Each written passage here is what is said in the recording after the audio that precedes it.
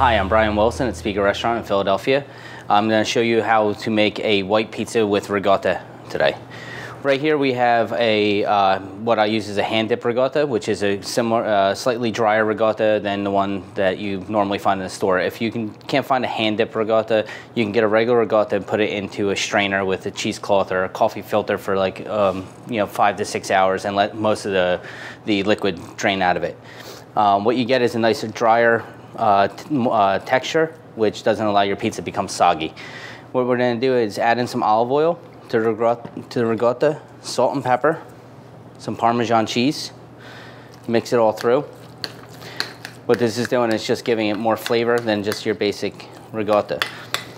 We're going to use, I have a homemade pizza dough. If not, you can buy a pizza dough from you know your pizzeria or whatnot. Put it onto your pizza peel once it's stretched like this. Um, you can do just a plain old white pizza with just a ricotta on it, or you can add uh, you know other things to this. It's just pretty much a base, so you can put some sautéed spinach, tomatoes, mushrooms, whatever you like. I'm just gonna spread out my ricotta. Not too thick, because you wanna make sure that it's not gonna get soggy. You want your pizza to cook in the middle.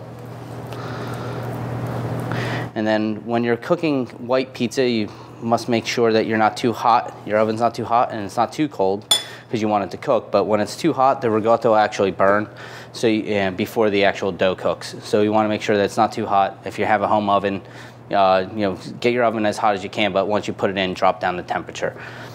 We're gonna add in a little bit more Parmesan cheese on top, a little more olive oil, and it's a basic ricotta pizza. All right, our ricotta pizza is gonna go into the oven. This is a wood burning oven, so my deck is about 700 degrees and my roof is about 850 degrees. So I wanna really be careful on where I place this. I wanna kind of put it right near the opening of the oven. So this way it doesn't cook too fast and it stays uh, away from the fire. So it really, the dough gets time to cook before the cheese actually burns. It will take about 90 seconds in this oven. All right, so our ricotta pizza is ready. I'll pull it out. We have a nice crust. It's just got enough spring and enough crunch. You notice that the ricotta is just browning just slightly. You don't want to cook it any more than that, but then the, the center of the pizza is cooked also. So we're ready to go.